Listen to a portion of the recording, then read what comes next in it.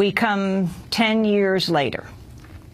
10th anniversary of the war in Iraq. Tomas Young, Iraq War veteran, wounded April 4th, 2004, his fifth day in Iraq, shot in Sadr City, is now writing a letter on this 10th anniversary called The Last Letter, a message to George W. Bush and Dick Cheney from a dying veteran. Tomas, can you read some of your letter to the former president and vice president?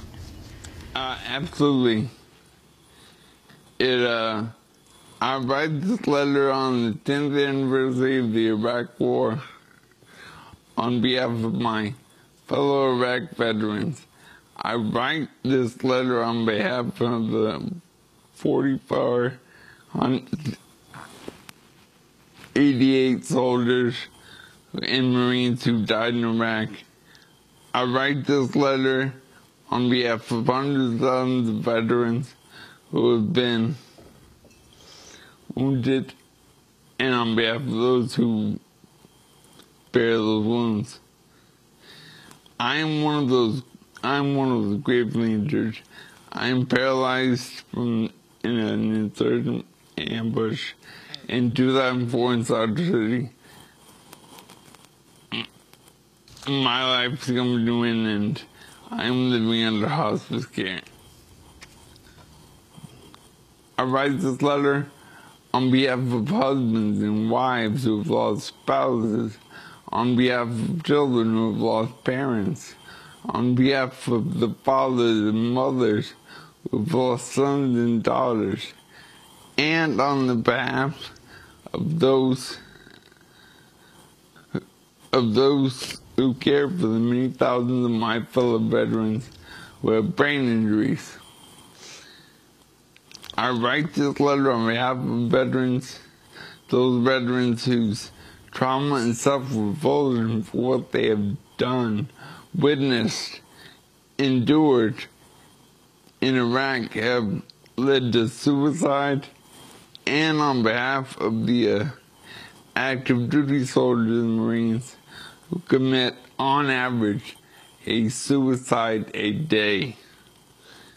I write this letter on behalf of some of the one million Iraqi dead and on behalf of the countless Iraqi wounded. I write this letter on behalf of us all. The human detritus your words are behind. Those who will spend their lives in unending pain and grief. Your position of authority, your millions of dollars of public personal wealth, your public relations consultants, and your privilege and power cannot mask the hollowness of your character. You said to us, you said to fight and die in Iraq. After you, Miss Cheney, dodged the draft in Vietnam, and you, Mr. Bush, went AWOL from the National Guard unit. Your cowardice and selfishness were established decades ago. You were not willing to risk yourselves for our nation, but you sent hundreds of thousands of young men and women to be sacrificed in, in, in a senseless war with no more thought than takes to put out the garbage. I write this letter, my last letter, to you, Mr. Bush and Mr. Cheney. I write not because I think you grasp the the terrible human and moral consequence of your lies, manipulation, and thirst for wealth and power. I write this letter because before my own death, I want to make it clear that I and hundreds of thousands of my fellow veterans, along with millions of my fellow citizens, along with the hundreds of millions of more in Iraq and the Middle East, know fully who you are and what you are. You who are you and who you are and what you've done. You have you may have evaded justice, but in our eyes you were each guilty of egregious war crimes, of plundering, finally of murder. There's a lot of types very small my eyes are going. Um Iraq and Middle know fully who you are and what you've done.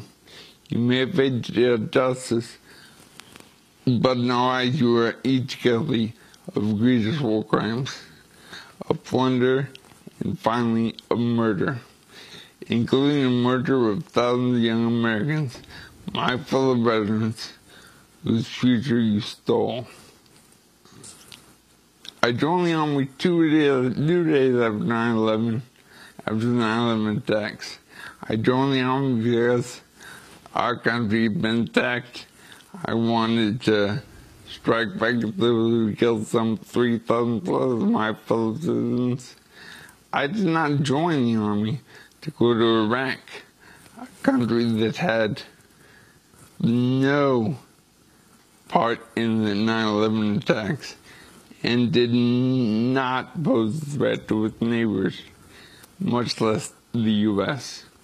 I did not join the army to liberate Iraqis or to shut down mythical weapons of mass destruction facilities or to implant what you cynically called democracy in Baghdad and the Middle East.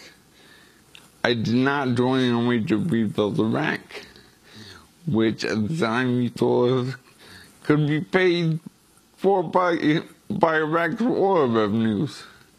Tomas, we, Tomas, we're going to ask you to finish the letter um, after the broadcast, and we're going to post it at democracynow.org. But in these last few seconds of the show, is there anything that would convince you not to end your life in the next few months?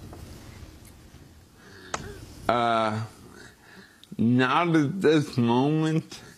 There may come a time in the future when I uh, when I say, hey, things are getting better. Maybe I should reconsider this. But at this moment, nothing in this world has made me change my mind as to what I'm going to do. I want people to go to democracynow.org to see the second part of this conversation that we will continue with Tomas Young and his wife, Claudia Cuellar, from their home in Kansas City, and with legendary talk show host Phil Donahue. Last seconds, Phil. Well, it's just a study in um, what the Americans have not seen. Uh, if you're going to send young men and women to war, show the pain. Otherwise, it's going to be easy for us to have another one. I'm Amy Goodman with Juan Gonzalez. Thanks for joining. Thanks so much for watching this report from Democracy Now!, your daily independent global news hour. We don't accept advertising or corporate funding, but rather rely on donations from viewers like you. Please make your contribution by visiting democracynow.org. We need your support today to keep bringing you this hard-hitting, in-depth reporting.